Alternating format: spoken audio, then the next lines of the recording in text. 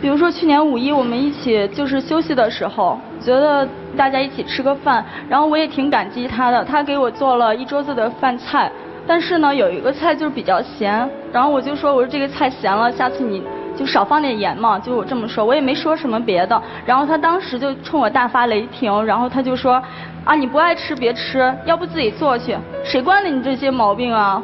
哪来那么多事儿啊？然后还冲我摔盘子、摔碗什么的，最后把一桌子饭菜全倒了。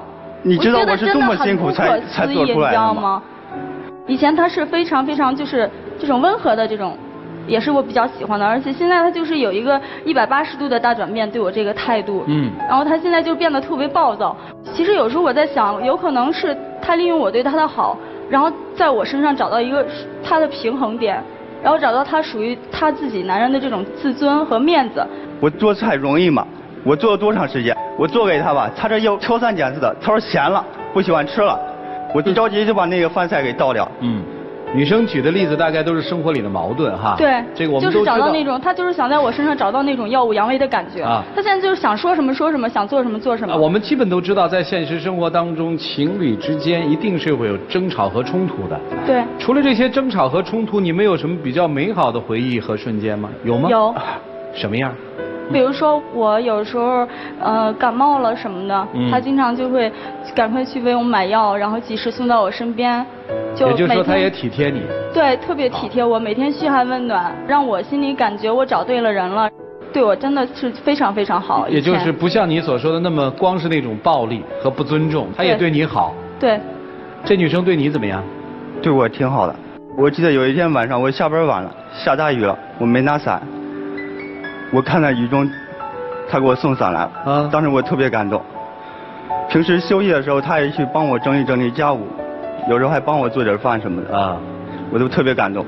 所以接下来问题就来了，那到底是什么让你们觉得忍受不了对方了呢？或忍受不了彼此了呢？就是我觉得他现在就是，他只照顾他自己的感受，从来都没有考虑过我的感受。以前我觉得他是一个特别大方大气、豪爽的人。嗯我有一个老乡朋友，人家跟她男朋友一起出去去旅旅游，结果她手里现金不太够了，就管我借了一点儿，借一万块钱。我当时手里没那么多，就管他要了五千块钱。然后那个朋友还非常感谢我。回来之后，为了感谢我们，请我们吃饭。他可倒好，他在饭桌上有意无意的一直在提钱的事情。你知道多伤感情，多伤面子呀！大家都是老乡，抬头不见低头见，你干嘛老提钱的事情呀？人家那个老乡还以为是我在背后让他这么说的呢，嗯都现在不跟我联系了，现在就是借了别人的钱还了他的五千，现在都不跟我联系哎，我。发现你特逗啊！你说的大方大气，怎么一转？大放大气是以前，有时候我就是现在这个男人还有什么管他要五百，然后他给我一千，管他要一千五，他给我两千，啊我就觉得真的是挺好。现在呢？现在就是，我就觉得他真的非常的小气，然后就是情商低，不会说话，啊就比较抠门嘛。人家又不是不还，你为什么老在饭桌上一而再再而三的提啊？